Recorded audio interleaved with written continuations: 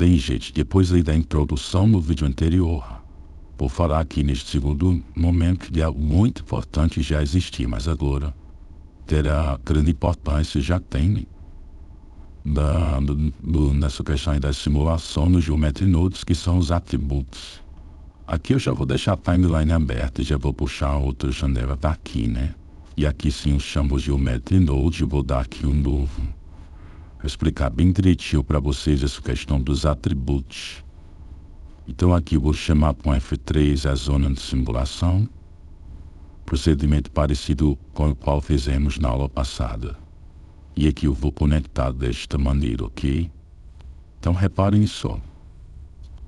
Eu vou trabalhar aqui com rotação. Então eu vou chamar, não transform, eu vou chamar aqui o rotate instances. Para, para evitarmos problemas. Aqui vejo que ele já deu um erro, mas é porque eu tenho que aproveitar essas geometrias das então, twistance e aí ele já deixa de dar o erro. E aqui eu vou colocar um grau. Pressionar aqui barra de espaço. E a nossa querida Suzane já rotaciona ali. Imaginem que você queira fazer uma rotação acelerada, né? Então, que eu mostrar aqui é a base de muitas simulações complexas que vocês já podem estar vendo por aí em tutoriais pelo mundo afora. Como é que funciona essa questão? É como se fosse uma variável em programação. Então eu posso criar um atributo e linkar a esse objeto. Esse atributo pode receber o vetor, um float, enfim. Qual o comando que a gente utiliza para isso? É o story named attributes. Então, com este camarada aqui, eu consigo colocar aqui o nome de um atributo e vou colocar aceleração.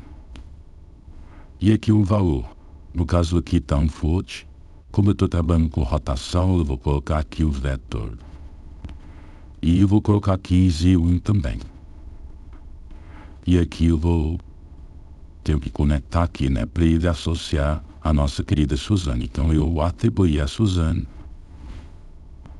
é, o atributo aceleração, que é um vetor, e o valor dele é 0, 0 e 1. Aqui eu tenho que tirar aquele point para colocar stage, porque a Suzane agora é um stage com stage, né? Inclusive, na verdade, isso daqui vem aqui para frente. Desse jeito aí. Do jeito que está aqui, agora eu tenho que puxar essa aceleração e conectar aqui.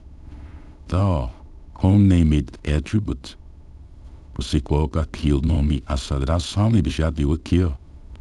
E aí eu conecto aqui em rotação e aqui eu já posso dar barra de espaço. Aqui ficou muito mais rápido, você me questiona. É porque agora este 1 aqui, ele está entrando aqui como radianos. Então aqui eu vou colocar Pi dividido por 360. E aí você vai ter a rotação mais suave, né? Agora imagina, qual a vantagem disso? É que a gente pode fazer a operação com esse atributo aqui dentro da zona é, de simulação, que é um loop, conforme a gente viu no primeiro vídeo. Então, eu vou afastar aqui um pouquinho e vou fazer o seguinte, essa atribuição aqui eu vou duplicar Shift D e coloco ela aqui novamente. E aí, ó, o atributo que a gente está chamando aqui, eu vou fazer aqui uma adição com ele.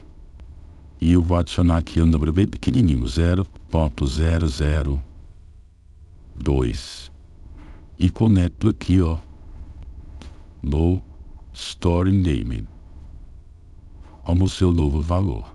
Então, no início da história, aqui ele começa, o atributo aceleração é criado e começa com esse valor aqui, 0,008, e assim vamos nós. E a primeira vez é executado no primeiro frame, né? No segundo frame, é, o atributo aceleração ele já vai receber um acréscimo.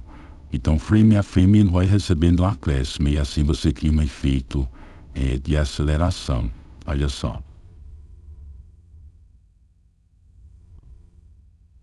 Parece simples, mas isso daqui é muito importante em várias construções complexas, tá certo, pessoal? Aguardem aí o próximo vídeo.